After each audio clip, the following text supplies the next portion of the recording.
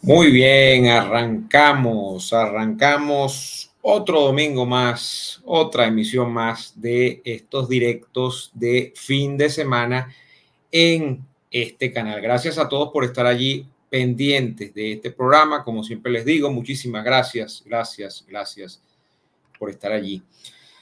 No quiero arrancar sin eh, recordarles que es importante para mí lo que dice aquí abajo que te suscribas al canal y actives las notificaciones, dale me gusta a este video, también es importante para que el canal tenga un crecimiento pues, sostenido en YouTube. Muchísimas gracias a todos por estar allí. Recordarles también que pueden apoyar este canal suscribiéndose a, Patreon, patreon.com slash neoadolfo, patreon.com slash neoadolfo. Con tu apoyo me ayudas a seguir. También puedes ayudar este canal eh, con las contribuciones en PayPal. En PayPal hay un enlace.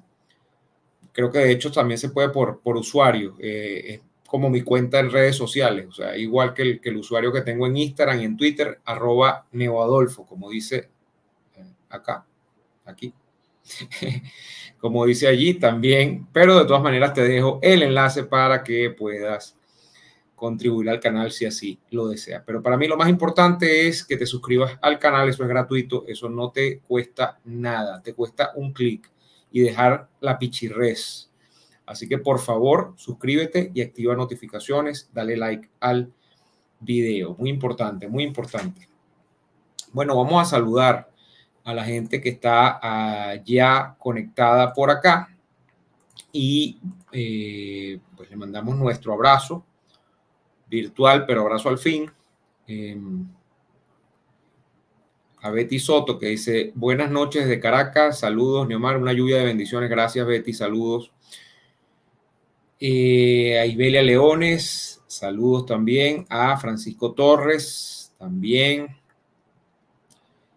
Eh, José Pérez, en el caso de Chile, las, las leyes deben proteger al menos a los menores con 17 años no tendría que pagar mucho si estuviera implicado. Esto a propósito del detenido, ¿no? El sospechoso que hay en todo este caso de el teniente Ojeda, lamentablemente asesinado. Como ustedes saben ya, ha aparecido el cuerpo del teniente Ojeda el viernes. Eh, ¿Qué piensas del asesinato del teniente? Espantoso, horrible.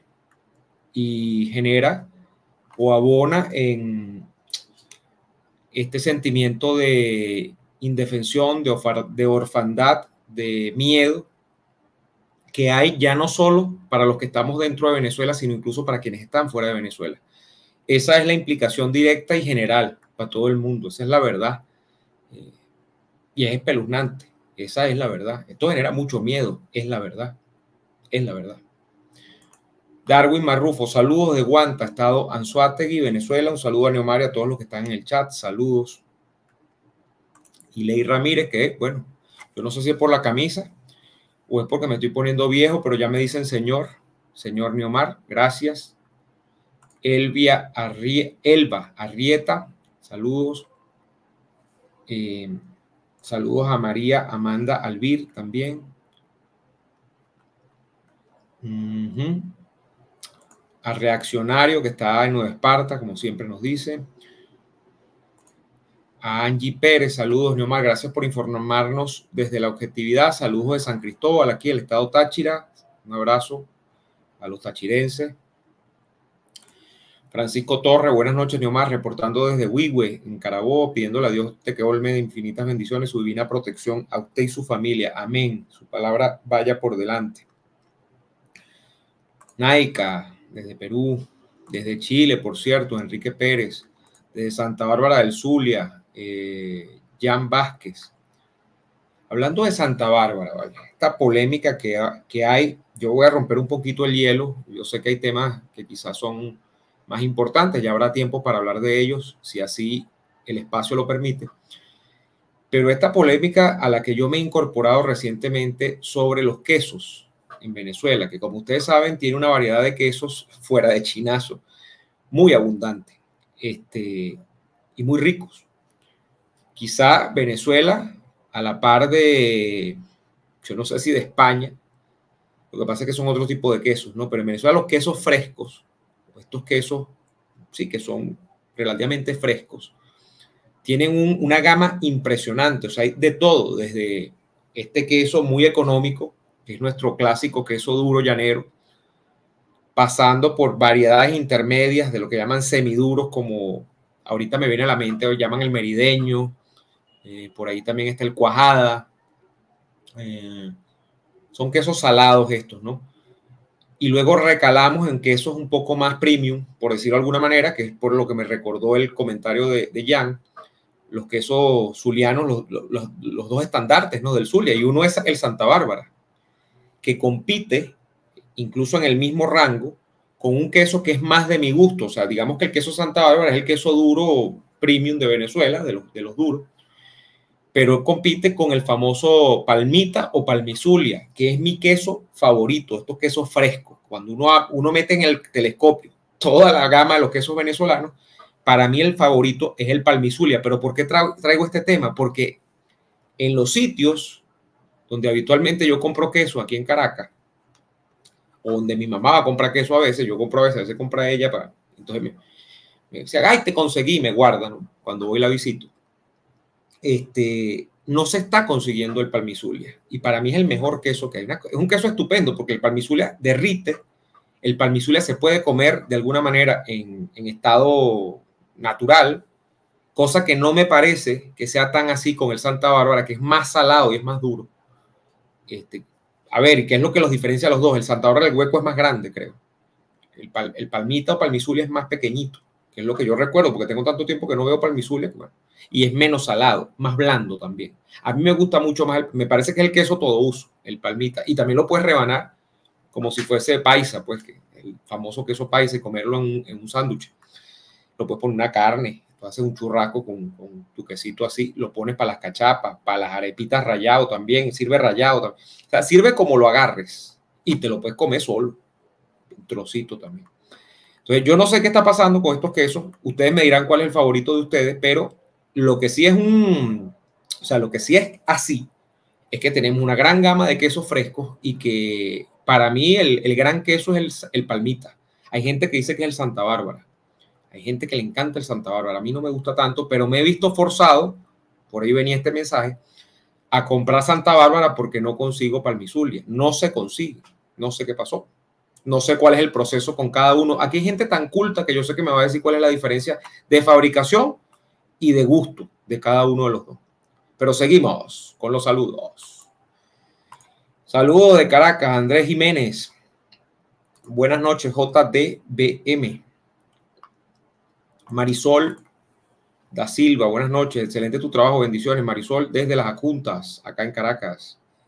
Samantha White, Dios te bendiga desde Tennessee, en Estados Unidos, la tierra de eh, Jack Daniels, Tennessee. Eh, vieja las piedras y el viento y todavía sopla. Neomar es un muchachito, ahora es cuando, claro. Ese era un eslogan que tenía Acción Democrática cuando empezaron. Yo estaba, ustedes saben, la semana pasada les conté un poco de mi paso por Acción Democrática. Otra pequeña anécdota tiene que ver con esa idea que ellos, que nosotros en aquel momento, yo era parte de ese, de ese colectivo, de esa organización, sabíamos que había en la mente de la gente, que es que este era un partido de viejos, que en efecto es, que estaba gobernado por un viejo que en efecto está, y que bueno, que no tenía ninguna renovación de cara a lo que era la futura política de Venezuela, ¿no? Entonces que no tenía nada que decir, que se había quedado pegado en el pasado, lo cual también es verdad. Este, no, no precisamente ni siquiera porque sea acción democrática, sino porque este, además la socialdemocracia no tiene nada que decir en un contexto como el, como el que tiene el mundo actualmente. ¿no? Pero eh, entonces se adoptaban como estrategias de marketing en las que yo me veía involucrado también para hacer cada vez que venía o un aniversario o venía una campaña política de gobernaciones, alcaldía, lo que fuese, a ver cuál iba, iba a ser el eslogan. Entonces empezaban los quebraderos de cabeza, ¿no? Del eslogan de, de AD, cuál iba a ser el eslogan. Y recuerdo que uno fue ese, ¿no? Ahora es cuando. Ahora es cuando, como que bueno, yo estoy viejo, pero igualito todavía soplo, ¿no? como el cuento del viento. Ese se usó mucho. Este, había uno que se usó que, se, que decían este, vuelve para tu casa, porque eh, se partía de la idea, y imagínate lo grave que es esto, pero es una verdad, de que los chavistas habían sido los antiguos adecos, ¿no? Fueron adecos primero y chavistas después. Entonces la idea era decirle a los chavistas que dejaran de ser chavistas y volvieran a la casa de ellos, que era Acción Democrática, porque ellos habían sido adecos originalmente, y copellanos, algunos otros, porque extraterrestres no eran, y del MAS y de la izquierda organizada tampoco eran, porque el MAS lo que llegó a sacar más en una elección fueron 5%, en las elecciones hacia finales de los años 80, creo, nacionales, digo. Entonces, mm, es muy poco probable que toda esa gente que después se metió a chavista hubiesen sido de la izquierda histórica de los partidos, ¿no? Más Partido Comunista, MEP, Bandera Roja, ese tipo de cosas. Eran adecos, eran copellanos y terminaron pues votando por Chávez después. Pero entonces se hacían estos eslogans y había mucho tema, porque entonces empezaba, bueno, pero si decimos que vuelvan para su casa, asumimos que entonces que son a los chavistas lo que estamos llamando y vamos a darle veracidad a esa tesis de que fueron chavistas los que votaron, fueron adecos los que votaron por Chávez. Bueno, sí, pero eso nos genera rédito, nos genera ganancia política, tal, no sé Y el ahora es cuando es coño, pero si decimos ahora es cuando, porque de verdad estamos diciendo que somos viejos y no sé qué. Y ahí, bueno, ahí por cierto, de allí se explica la idea de estar permanentemente machacando el tema de AD Juventud, AD Juventud y tal, la juventud a la que yo fui parte porque el tema de promover la supuesta existencia de la juventud de que sí, que sí existe y siempre ha existido, era un poco para, eh, como dijéramos en el béisbol, ¿no? Para bajarle el averaje de edad al, al, conjunto, a la plantilla completa, que empezaba por Ramos Alú. O por la señora Carmona, que todavía vive, tiene más de 90 años, la presidenta de AD. Entonces, bueno, vamos con comentarios de queso. La cuajada de Boconó es muy buena. Me saluda desde, desde Talca, en Chile, Luis Monasterio. Alberto García, ¿qué opinas del socialcristianismo para frenar al socialismo? No me gusta porque cuando tú le pones la etiqueta social, eh, allí está el tema del intervencionismo estatal y es una ideología que al final de cuentas termina siendo pues, más colectivista que individualista. ¿no? Este, a mí me gusta eh, de la democracia cristiana, un poco pues lo que tiene que ver con los mandatos de la Iglesia Católica dentro de la política. Ojo, aunque yo soy de las personas que también dice que la política es un espectro y la religión es otra, pero hay una verdad, que es que estamos en Occidente y hay unas visiones de la vida, que no de la política, que defiende la Iglesia Católica, que a final de cuentas son defensas occidentales de la vida occidental. De manera que a mí no me parece que eso esté mal incorporado a un proyecto político, porque al final de cuentas es un proyecto de la vida en Occidente pero no soy tan partidario de hacer partidos, valga la redundancia, que estén atados a determinadas iglesias, ¿no? Aunque, como les acabo de decir, respeto a la democracia cristiana. Pero la democracia cristiana, que es como eh, eh, hay una gran confusión ¿no? entre democracia cristiana y social, y social cristianismo, de alguna manera marcan o tienen una diferencia en torno a la idea de eh, el papel del individuo. Digamos que en la democracia cristiana el papel del individuo está un poco más asentado y en el social cristianismo, que es la versión que tuvimos los, venezolanos de, pues de partidos cristianos, eh, el, la idea termina siendo de un estatismo interventor también. Eh, entonces, claro, fíjense como esto ha tratado de amalgamarse en los últimos tiempos con una idea que han defendido mucho, pues, algunos demócratas cristianos y la socialdemocracia, o las, la socialdemocracia, el socialcristianismo se ha ido también allí, que es la idea del principio de subsidiariedad, ¿no? Allí entonces hay una discusión sobre, y esta no es la idea, ponerme una clase aquí de ciencia política, ¿no? Pero se dice que lo que debe regir a un Estado o lo que debe regir la vida política en comunidad bajo una visión democristiana o social cristiana, es este tema de la subsidiariedad, que es lo que el individuo no puede subsanar por cuenta propia, entonces allí tiene que intervenir el Estado, no sé qué. Claro, entonces tú justificas ahí el tema de la pobreza y que tienes que intervenir en algunas cosas. Yo quisiera recomendarles, no lo tengo aquí, ¿dónde estará? Quisiera recomendarles un libro para este tema de afinar un poco las, las visiones sobre las ideologías, lo que es social cristianismo y democracia cristiana. Bueno, pues les puedo dar el nombre, ¿no? Es un libro introductorio, un libro que yo usé propiamente para mi libro. En mi libro hay nociones de esto. pero digamos que el libro seminal de esta, de esta cuestión, estoy buscando, se me perdió, no sé dónde lo puse. El libro seminal de esta cuestión es un libro de un caballero que ya murió hace muchos años, creo que era un uruguayo, se llamaba Walter Montenegro.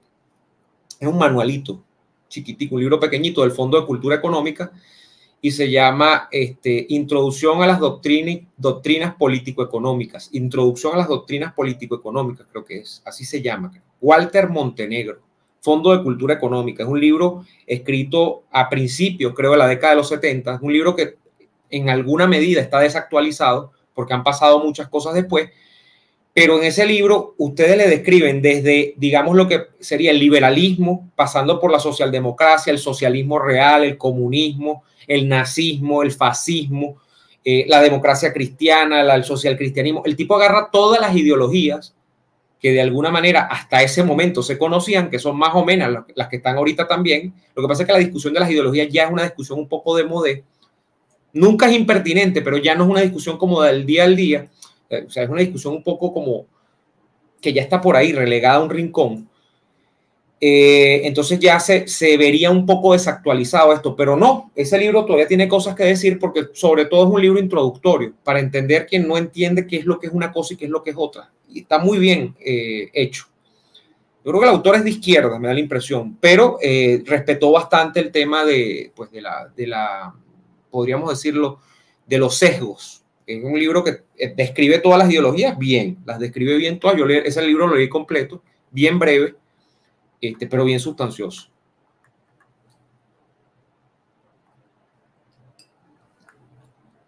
No vayan a creer que esto es anís, ¿no? Yo no tomo anís. Esto es agua. Saludos, Camino a la Chamba de Miguel Peraza, que está en Chile también.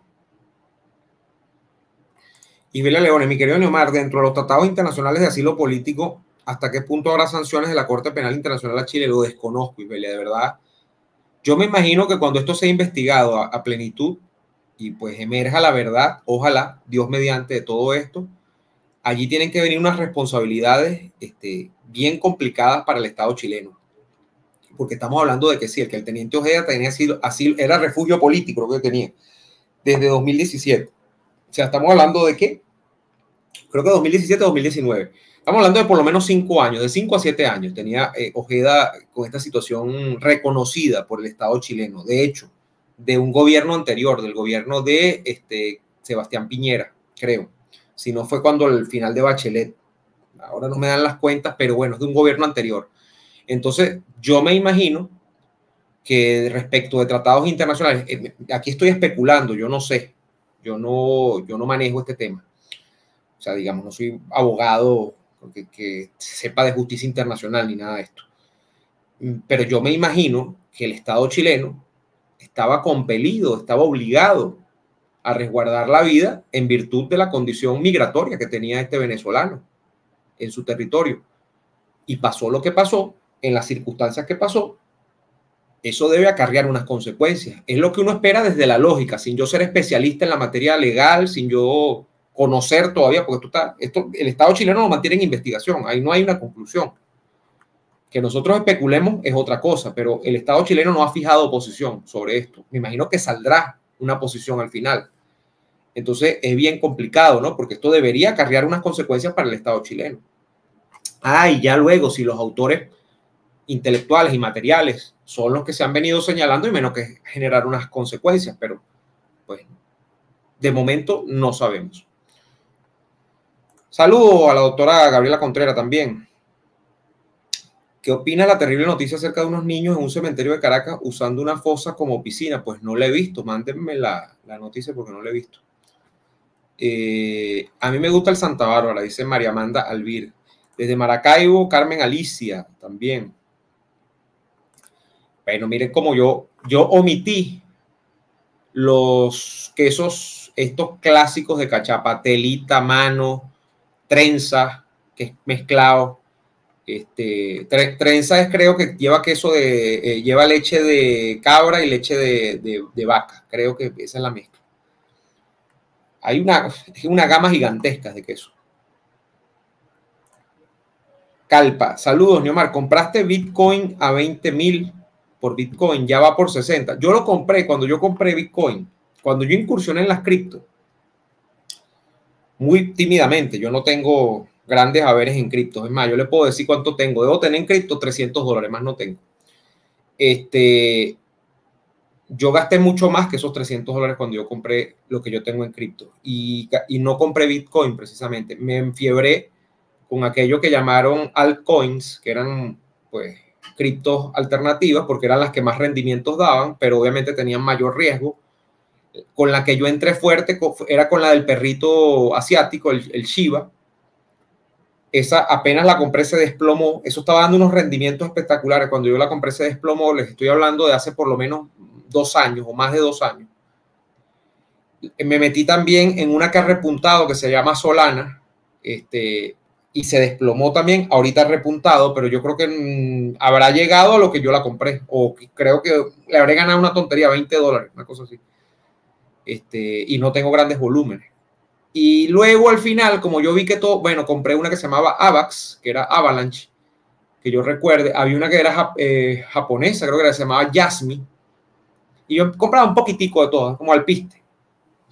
Este, y eso no sirve, o sea, eso, como negocio no sirve. Fue un momento en que yo, bueno, tenía una platica ahí, dije, la voy a invertir, tal, bueno, y perdí como la mitad de la plata o más que invertí. No la, o sea, no la perdí porque realmente nunca saqué esa plata, la dejé ahí, eso está ahí en un wallet que tengo, pero yo más nunca revisé eso porque después que eso se desplomó más nunca y al final compré Bitcoin, porque bueno, de todo lo que queda es lo como lo más estable, ¿no? Lo que más perspectiva futura tiene y compré el Bitcoin. Entonces, bueno, a mí toda la gente que está metida en esto en serio, que yo traté de meterme, como le digo, como entré, salí, este, menos mal que y seguí el consejo, ¿no? Que el consejo que te daban era la plata que metas ahí, plata que no necesites porque plata que metes ahí, lo más probable es que se devalúe, no que gane. Y si gana, es al cabo de muchos años. Lo que pasa es que hay gente que cree, yo no lo pensé nunca, que tú vas a meter, eh, por decirles algo, 100 dólares y se te van a convertir en 1000 dólares en dos meses. Y eso es mentira. Es, primero es impredecible, pero generalmente es a largo plazo. Y segundo, eso llegó a un punto como de quiebre. cuando yo entré fue el punto de quiebre a los dos meses. Eh, ahora parece que hay un nuevo auge lo cual es positivo. Yo he empezado a, ganar, no a ganar, he empezado a recuperar lo que había perdido y allí se quedará. Yo no voy a hacer nada con eso. Como les digo, tampoco es mucha plata, ¿no? pero no tengo grandes cantidades de Bitcoin. Lo que tengo más en este momento es Solana, que repuntó mucho. Creo que el Solana es rusa. Eh, y no sé ni qué hacer con eso. O sea, más bien lo dejé, pues yo no sé qué hacer con eso. Hay gente que lo empezó a usar como método de pago alternativo. Yo realmente no, una sola vez, creo que pagué una cuenta en un sushi que aceptaban eso, pagué 20 dólares con, con, este, con cripto, pues, ¿cómo que se llama? Con, con, con USDT, que son dólares en cripto. La única vez que le vi utilidad a eso. O sea, no soy, ¿cómo que le llaman esto? Cripto bro, no soy, ni soy promotor de las cripto. Eh, incursioné, pero como incursioné salí. Una vez alguien me dijo, no, ponte a minar, invierte todo lo que tú tienes y compra unas minadoras. Y yo, no, con lo que es este país. Y segundo, con la incertidumbre. Miren, yo tengo un principio en mi vida con el tema económico. Yo no creo, y esto aplica para todo, no para las cripto. Por eso es que cuando pasó lo que pasó con las cripto, yo ni me puse a llorar ni nada, yo lo dejé así. Yo no creo que nada en la vida, pero escúchenme bien, nada en la vida venga dado de gratis. O sea, yo no creo en esa gente que se hizo millonario de, la noche a la mañana sin mover ni una pestaña. Yo no creo eso. Eso, para mí no existe. Cuando a mí me llegan con un cuento de que te vas a ganar no sé cuánto y de no sé que me han llegado par de veces en la vida con esos cuentos, yo lo que hago es irme por la tangente. Porque yo no, o sea, me pueden, mira, a mí me pueden pintar la maravilla del siglo y probablemente estoy desperdiciando una oportunidad de negocio gigantesca con el modesto capital que yo pueda o no tener. Yo no soy rico de culo, usted lo sabe. Yo trabajo para poder vivir y ahorrar algo. Este, y yo jamás, jamás he pensado, he creído que esos negocios que tú haces de la noche a la mañana y te generan unos dividendos, de que multiplicas la plata por 10, por 20, yo nunca he creído en eso. O sea, y capaz los hay.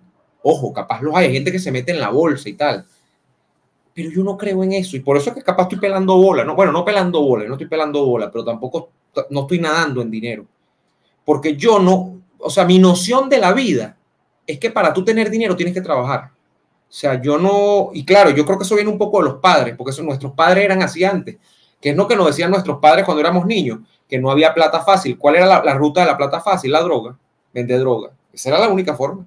O meterse a ladrón y, no sé, robar carros y revenderlo, o, estafa, ser un estafador. O sea, meterte a delincuente. No había plata fácil. Eso es lo que nos inculcaron nuestros padres. Claro, lo que pasa es que nuestros padres quizá se excedieron un poco en esta noción porque además de tener esa idea, no tenían la iniciativa, que sí tenían muchos inmigrantes europeos, por ejemplo, de tener negocios propios. Siempre eran trabajadores de terceros, o sea, eran, eran empleados de...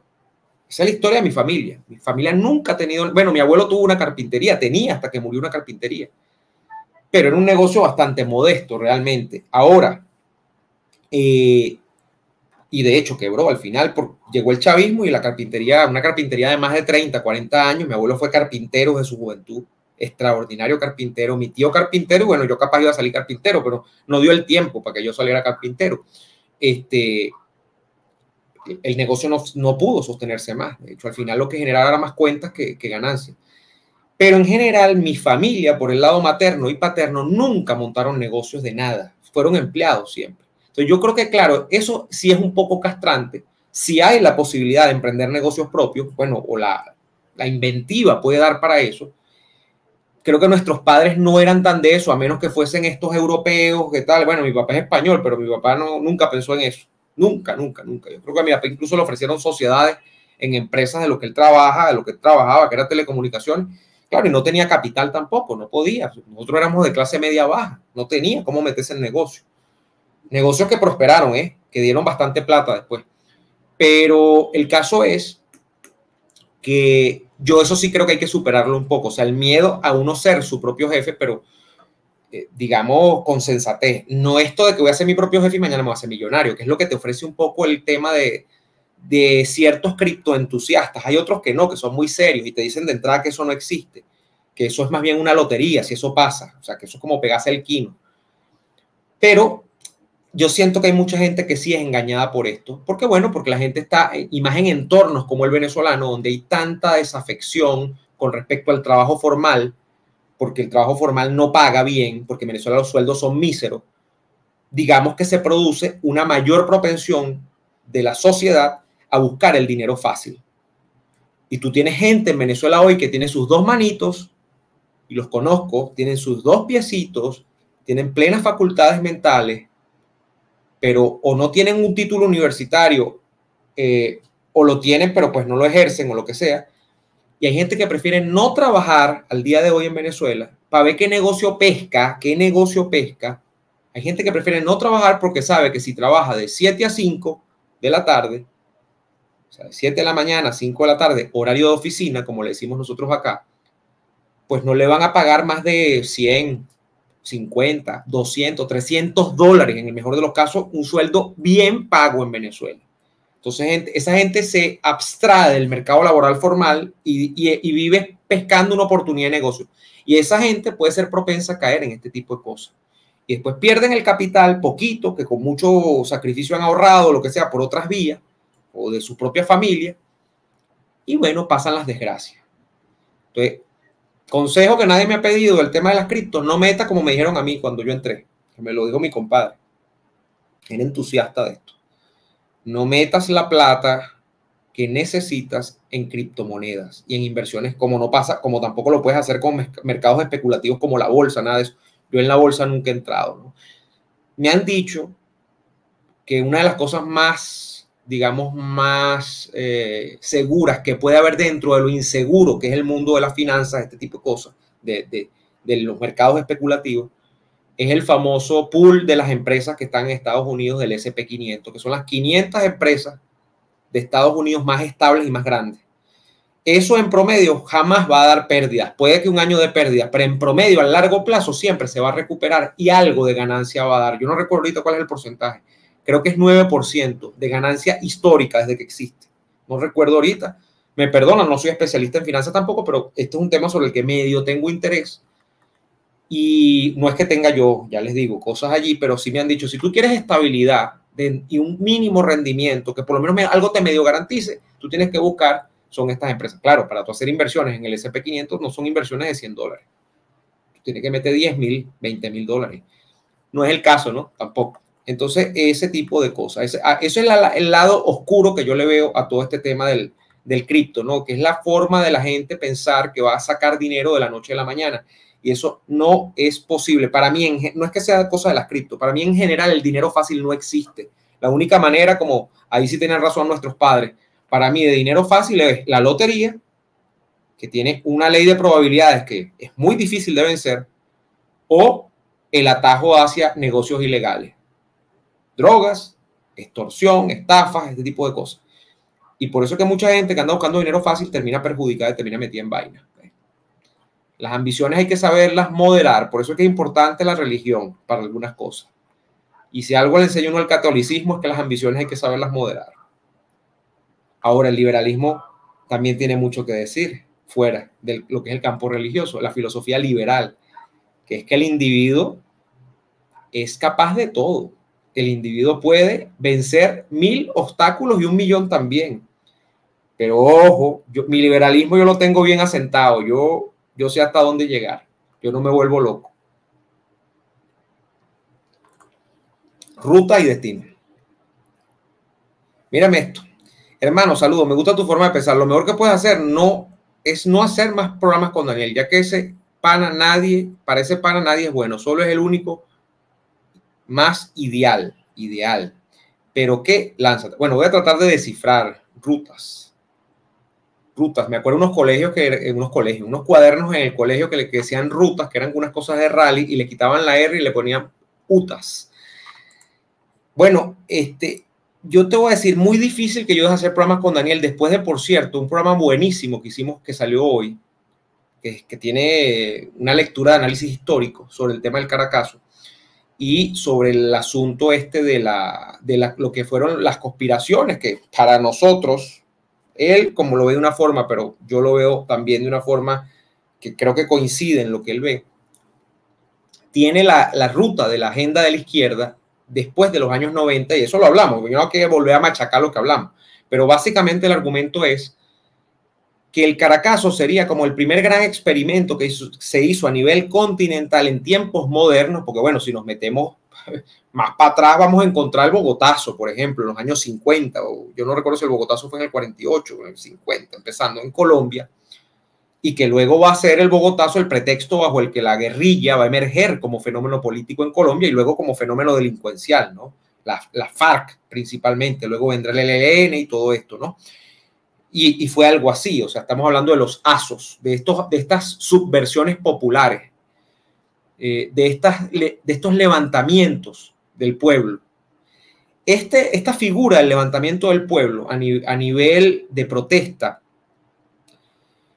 lo que yo le comentaba a Daniel es que es muy curioso que después del Caracazo, en los años 90, después de que emerge además el Foro de Sao Paulo como una realidad concreta en el año 1990 con Fidel Castro y Luis Ignacio Lula da Silva de la mano, va a llevar a que en la década de los 2000 nosotros tengamos varios ejemplos. Y por cierto, hay unos que son bien cercanos, Chile, Ecuador, Perú, Colombia, de presuntas azonadas populares donde eh, la insatisfacción frente a las élites y fundamentalmente frente a la derecha, real o imaginada, lleva a que esta gente pues se vaya a la calle a subvertir el orden público, a veces en circunstancias en las que ni siquiera este, esto estaba explicado o esto debía pasar. Por ejemplo, Chile. Chile, mis estimados amigos, era el país número uno en la economía cuando se producen los acontecimientos del año, del año 2019, creo que fueron las, las revueltas en Santiago, donde, bueno, ahí saquearon de todo, lo que era y lo que no era.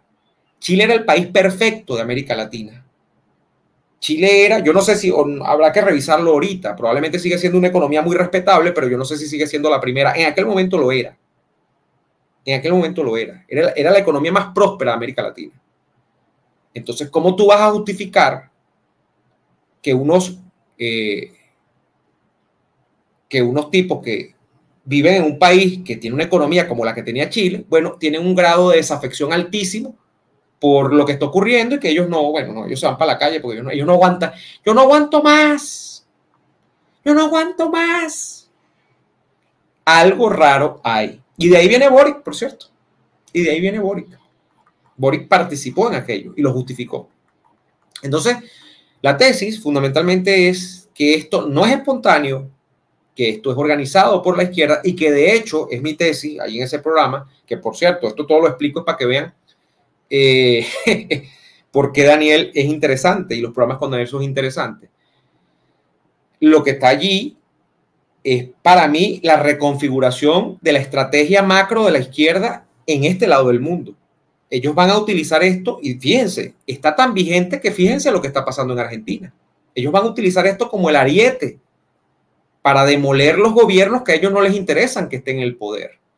Fíjense que la señora, eh, la señora canciller Mondino de Argentina hacía una denuncia bien grave en un programa de televisión el día jueves, creo que fue, o el viernes. La denuncia que salió en todo noticias, en un programa con unos panelistas, unos periodistas que estaban entrevistándola de varios temas, cae en el tema de este, las protestas en Argentina y de quienes han participado en estos paros, en estas cosas que han convocado las centrales sindicales. Viene otro, están convocando uno nacional en Argentina contra mi ley. La señora Mondino, bien grave esta denuncia, dice que ellos han identificado que en el Estado argentino había gente de nacionalidad venezolana y cubana que estaban eh, cobrando por el Estado argentino, por el Estado central, y que esta gente está puesta allí para ser agentes de perturbación del orden en Argentina. Ella, de hecho, ella usa la frase, ella dice algo así como, bueno, para voltear a Javier, voltear es para tumbarlo. Y un periodista le dice, ajá, pero ¿cómo? ¿Qué vienen a hacer ellos? ¿Qué es lo que específicamente vienen a desarrollar? Esta es la denuncia de la señora Mondino, canciller de la República Argentina, la ministra de Exteriores de Miley. Ella dice simplemente, dice, bueno, ellos están allí para hacer lío. Hacer lío es subvertir el orden, pues hacer lío, para hacer lío en el país. Entonces, este, cuidado porque a veces uno habla de cosas de historia. Hay gente que no le gusta que uno hable de historia, que no se explica de dónde salen los fenómenos, dónde se explican las cosas. Y como decía un profesor que yo tenía, que el tipo tenía no sé cuántos doctorados y tal, pero el tipo decía algo muy cierto. Yo, yo no estudié historia formalmente. Yo estudié fue periodismo y ciencias políticas después con un doctorado que no he concluido porque no hice la tesis, es la verdad. La dejé, nunca la hice. No sé si la haré algún día, pero yo terminé todas las cargas, la carga académica del, PhD en ciencia política en la Simón Bolívar. Bueno, este profesor decía lo que sea, sea así, ciencia política, la filosofía, que para mí es una de las, de las disciplinas más interesantes que hay la filosofía, y sobre todo la política, por cierto. Eh, estudia esto, estudia filosofía también. Pero él decía, la madre de todas las áreas de conocimiento es la historia. Porque la historia es la que te permite comprender de dónde salen las cosas. Claro, él era de, formación original historiador, pero luego hizo una cantidad de cosas. Él decía, la madre de todas las áreas de conocimiento es la historia. Entonces, hay alguien que, le dice a uno, no, la historia es fastidiosa, que porque tú te pones a estar haciendo programas sobre una cosa que pasó hace 35 años, que a nadie le importa, cuando tú no tenías ni un año, hasta haciendo reinterpretaciones y tal. No, no, no, por esto que les acabo de decir. Porque uno une los puntos cuando analiza las cosas con seriedad. Y la historia sirve para mucho más que para entretenerse en un rato viendo anécdotas. La historia es muy interesante. La historia describe los comportamientos de, las individualidades de los colectivos humanos. Entonces, bueno.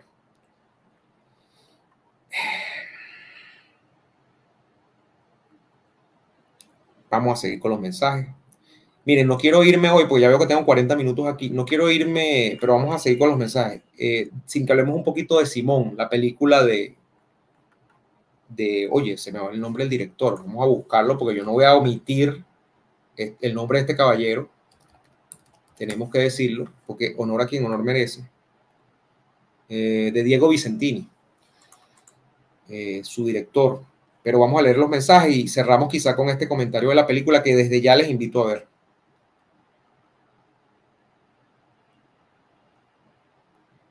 Héctor Quijada, la revolución afectó muchísimo el principio y uno ya ahora es lo que es ver el desastre para todos los que trabajamos por cuenta propia. Ah, para la gente que trabaja por cuenta propia.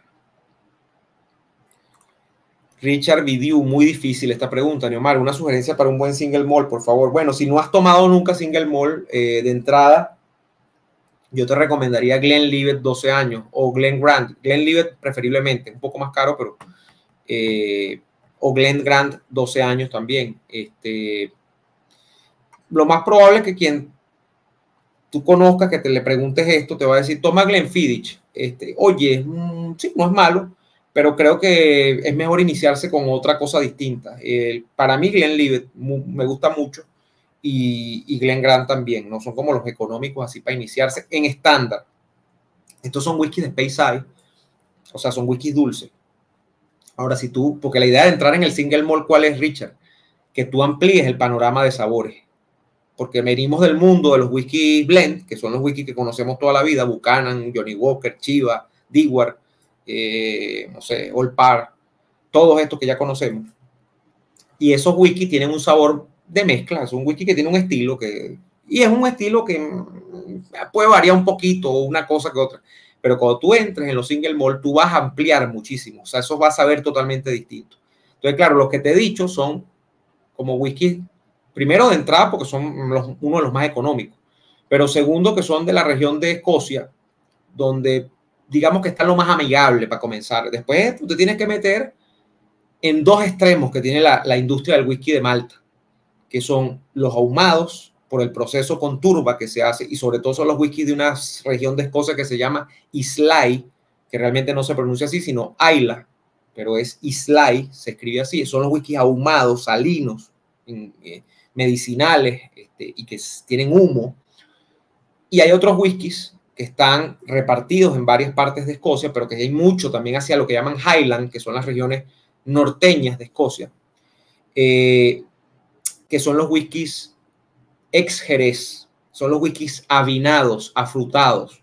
Esos son los whiskies eh, de donde, por ejemplo, sale el famoso Macallan, que es ya para mí una cosa más de estatus que, realmente de calidad, que no es malo, pero un whisky que está muy caro para lo que es en general. Los Macallan, dice un especialista amigo que debe estar por allí, que realmente para tú probar un Macallan bueno tienes que pagar eh, un Macallan 18 o 25 años y esos son whiskies muy caros, demasiado caros, extremadamente caros eh, y no vale la pena. Hay otras cosas que puedes probar de menos edad, de menos presupuesto, del mismo tipo que es este whisky ex Jerez o que sabe a vino, que está con las notas del vino, de las pasas, de la, de la, bueno, del vino, eh, y no tienes que gastar tanta plata allí pues habría que buscar estos dos mundos, los ex Jerez y los ahumados, como una segunda ya etapa cuando tú incursiones después de, estar con los wikis de Space que son los wikis dulces, amielados, frutales. Pero de entrada, esos que te acabo de decir. Manuel Tortolero dice, las criptomonedas son un esquema Ponzi súper elaborado. Eso hay mucha gente que lo opina. Un esquema Ponzi básicamente es una estafa eh, piramidal para los que no entienden. Una estafa piramidal es, el esquema de una estafa piramidal es que tú entras, te ofrecen esto, beneficios, retornos inmediatos, ganancias grandes, no sé qué. En la estafa piramidal, por definición, lo que ocurre es que quien entra más tarde al esquema tiene menos probabilidades de resultar beneficiado del esquema. Y quienes terminan siendo perjudicados finalmente por el esquema son quienes entraron de último porque los que entraron de primero ya tuvieron toda una ventana de tiempo para retirarse e incluso sacar ganancias. En cambio, quien entra de último, la ventana de tiempo es más reducida o ya es inexistente. Si tú entras, ponte tú, que tú, Dios no quiera, tú entras hoy y mañana se cayeron todas las criptos, te jodiste, porque hubo gente que tenía, las criptos tienen más de 10 años estando allí. Lo que pasa es que antes no eran tan populares. Entonces, la gente que hizo, que hizo negocio con criptos hace 10 años ya sacó retornos, beneficios, o sea, hizo lo que le dio la gana. Eso es lo que es un esquema de Ponzi, un esquema Ponzi, una estafa Ponzi. Eh, Santiago Gallardo, saludos, éxitos. Recuerda que la torta lleva azúcar desde Churuguara, Estado Falcón, Santiago, gracias. Alexander Alonso, con la cantidad de impuestos y obligaciones para fiscales que en Venezuela es muy rudo montar un negocio. Hasta Hipostel quiere obligar a los repartidores a pagar una suerte de habilitación postal. Bueno, vi que eso creo que se cayó, pero bueno, sí, yo ¿cómo te voy a decir que no? Sí, sí. Eh, me pregunta Alex ¿Qué opinas de la película Simón? Miren, rápidamente, porque ya nos vamos a despedir, queda poco tiempo. Yo vi Simón, quiero felicitar nuevamente a su director Diego Vicentini. Simón fue lanzada el año pasado, en septiembre, pero hace apenas dos días, el primero de marzo, entró oficialmente en el catálogo de Netflix. Ustedes la pueden ver en cualquiera de los países del mundo en Netflix. Si usted tiene una cuenta en Netflix, usted puede ver Simón ya. Eh, y de hecho, entiendo, y por allí viene un poco la celebración de que la película está, bueno, en Venezuela está de primera, creo, en Netflix Venezuela, pero en muchas partes del mundo está encabezando el top 10 de, las películas más vistas, ¿no? Eh, más buscadas en, Netflix. Eso es, es muy importante. ¿Cómo hablar de Simón? Bueno, lo más directo, hay mucha gente que se ha despachado en opiniones contra esta película, hay gente que ha dicho que no vale la pena verla porque le remueve unas heridas que son muy profundas y que es como echarle sal a una gente que tiene unas cortadas, que tiene la carne viva ahí, o sea que eso es una maldad. Hay gente que dice que hay que verla porque a propósito de la reconstrucción que ofrece la historia de los hechos, es muy útil para que no olvidemos, ¿no? ¿Qué es lo que hemos vivido? ¿Dónde estamos y hacia dónde queremos ir? ¿Mm?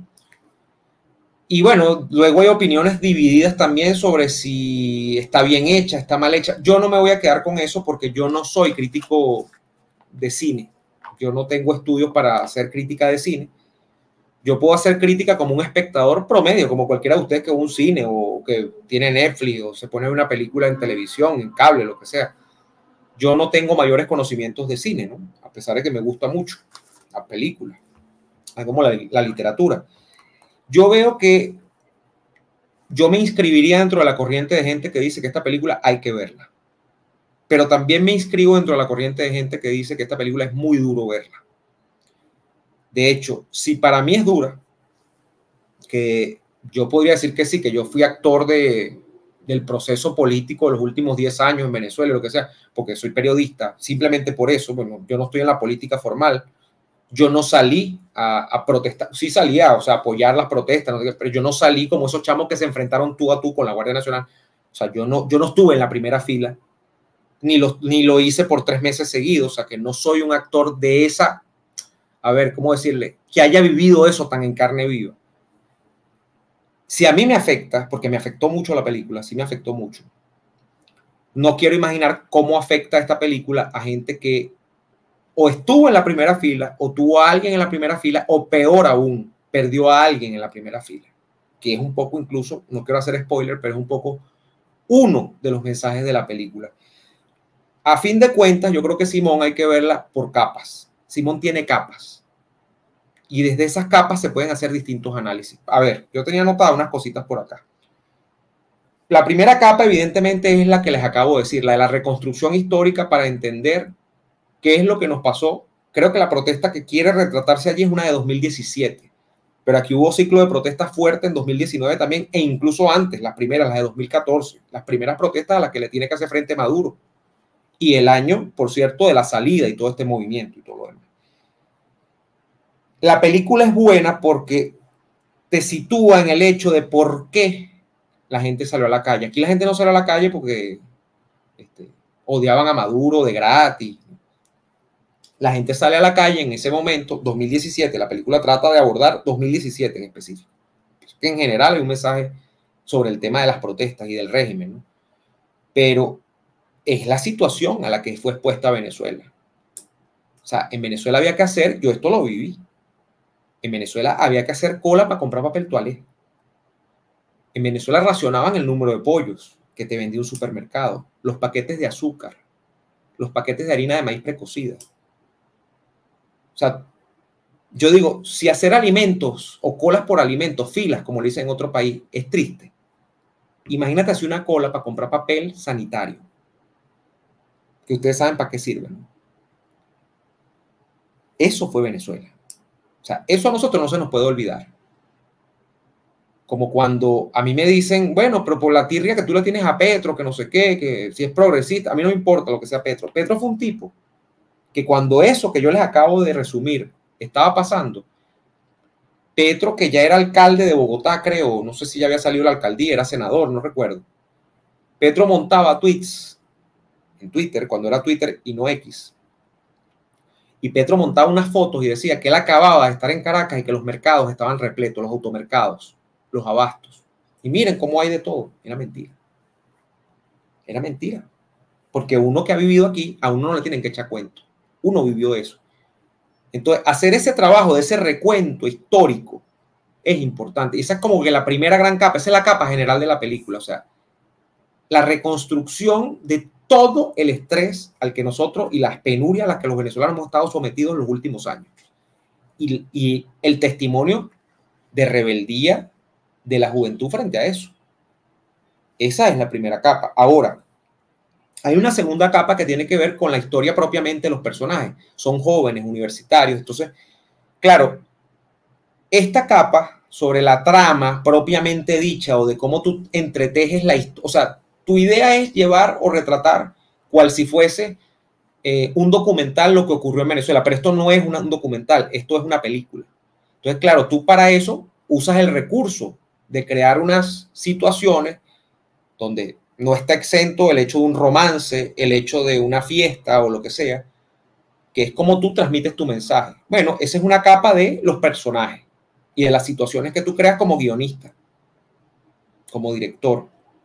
Entonces hay gente que ha criticado la película por eso. No, que bueno, que, bueno, puede ser. No te aburrió la trama de que a ti no te gustó como el protagonista se enamora de una muchacha ahí. O lo que, bueno, pero eso es para mí accesorio al fin de la película y a lo que transmite la película. Esa es una segunda capa, el tema de la trama propiamente los personajes.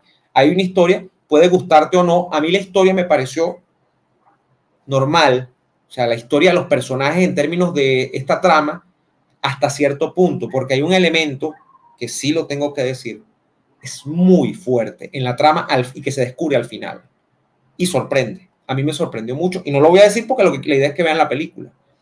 Y es un elemento que tiene que ver con hasta dónde fue capaz de llegar el Estado venezolano con respecto a quienes sometió a tortura, a prisión, a desapariciones forzadas. O sea, eso está en esa película. Y, y sorprende inserto dentro de la trama al final de la película.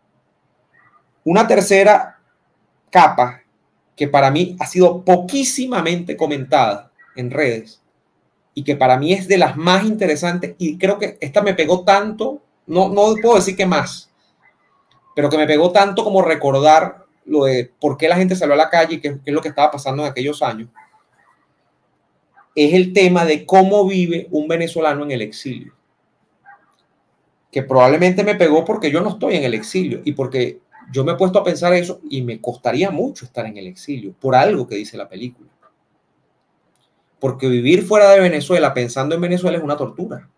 Por eso es que hay mucha gente que ha decidido que cuando se va para allá, a Estados Unidos o para España o para Italia o para Argentina o para Colombia, ellos no van a estar pendientes de Venezuela porque si no, no van a avanzar en sus vidas. Y eso es legítimo. Eso es legítimo. Hay mucha gente que lo ha hecho conscientemente, porque necesita avanzar en su vida. Y esto, a mí me parece que sí lo abordaron de una manera magistral.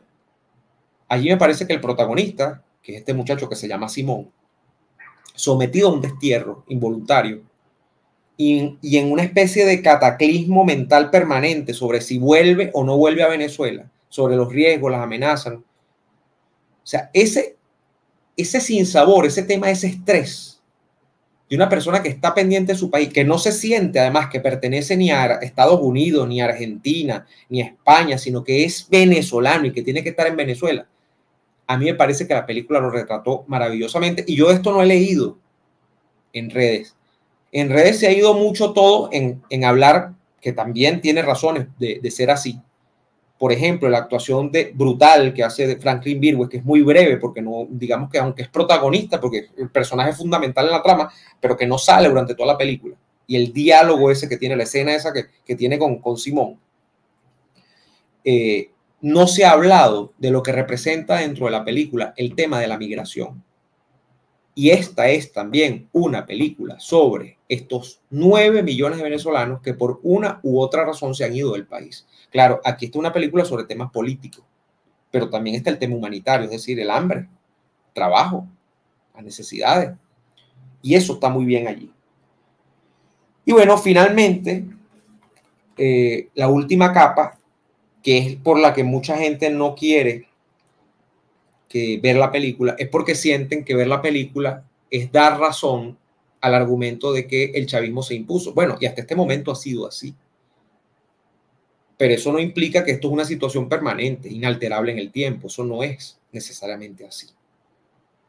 Y esta última capa se ha llevado los lauros, eh, o quien, a quien la película lo ha vuelto ñoña, como diríamos nosotros en criollo, es por esa, eh, ese parlamento que tiene Franklin Virgüe, que es como un jefe de los esbirros allí, y que da las razones de por qué el sistema no cae, y que da las razones de por qué se llevan presa a la gente y de por qué hacen lo que hacen. Él da unas razones.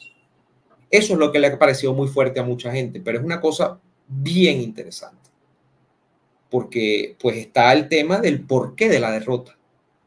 Hay un cuestionamiento profundo a eso también, del por qué sentirnos derrotados, por qué tener las élites políticas que tenemos, por qué haber hecho las cosas como las hemos hecho y qué es lo que tenemos enfrente, en verdad, y cómo es este sistema. Entonces, yo simplemente para no alargarme más, yo les voy a recomendar que vayan a Netflix y vean eh, Simón. Es muy importante, es una película a la que le auguro un éxito incluso mayor del que ya ha tenido. Eh, una cosa para enorgullecerse que haya llegado a Netflix y, bueno, ¿por qué uno dice enorgullecerse para que, que haya llegado a Netflix? Porque Netflix es una plataforma que nos guste o no, a pesar de todas las desviaciones que uno siente que tiene por, este tema de esta obsesión woke, que ya todos la conocemos, Netflix es una plataforma, quizá como ninguna es la primera en temas de streaming de video a nivel mundial. Y que tú tengas una película que hable sobre la historia reciente de Venezuela y que cuente más o menos desde una visión que a mí me parece apropiada, qué es lo que ha ocurrido en este país en los últimos años y que lo haga de esa forma, para mí es ganancia porque muchos más extranjeros que no saben qué es lo que ocurre en Venezuela les va a interesar el tema de Venezuela. Y eso para mí es muy importante. Porque bueno, porque es abrirle los ojos a mucha gente y es poner el tema sobre el tapete de la discusión mundial. No porque esto vaya a traer implicaciones directas, inmediatas, de que bueno, ya con esto, por ejemplo, Biden se va a radicalizar y va a amenazar a Maduro. No, no, yo estoy hablando de eso. Pero una gotica y una gotica y que más gente esté clara con lo que ha ocurrido en Venezuela es importante. Y por eso es que esta película es importante. Y que esté donde esté es importante. Entonces, ojalá dure mucho tiempo, muchos meses, allí en Netflix. Y bueno, a quien no la, haya visto, le vuelvo a recomendar, vaya a ver la película en Netflix. Eh, Simón, a mí sí me gustó. Felicidades a su equipo eh, de producción, a su director y a toda la gente que trabaja en la película, los actores también bueno, además a Franklin, que Franklin Virgo a veces creo que ve estos live. Si me, me estás viendo, Franklin, un gran abrazo y muchas felicidades por este trabajo. Eh, amigos, no nos queda más nada en el tintero por el día de hoy. Tenemos que despedirnos, lamentablemente, como siempre, y como, bueno, eh, les he dicho, ayúdenme suscribiéndose al canal activando las notificaciones, activando la campanita, que es esa notificación para que te enteres cada vez que subo nuevo contenido. Estos lives son todos los domingos a las nueve y media de la noche, hora de Caracas. Si estás en Estados Unidos, a las ocho y media de los Estados Unidos. Si estás en España, súmale cinco horas. O sea, si estás en Europa, propiamente dicho, en Alemania, España, Italia, eh, son cinco horas más. Eh, sería, no sé, te cae de madrugada. Eh, y bueno, gracias a todos también por apoyarme en Patreon, como dice aquí abajo, patreon.com slash neodolfo, patreon.com slash neodolfo y en PayPal con el enlace que está en la descripción de este video para apoyar también a este maravilloso canal que espero llegue pronto, así como Nito, a 70 mil suscriptores. Algún día llegaremos a los 70 mil y algún día, ¿por qué no?, a los 100 mil también. Y yo tendré este espacio donde está este cuadrito medio extraño ahí para la placa, Dios mediante. Gracias a todos por estar allí. Nos vemos en la próxima. Chao.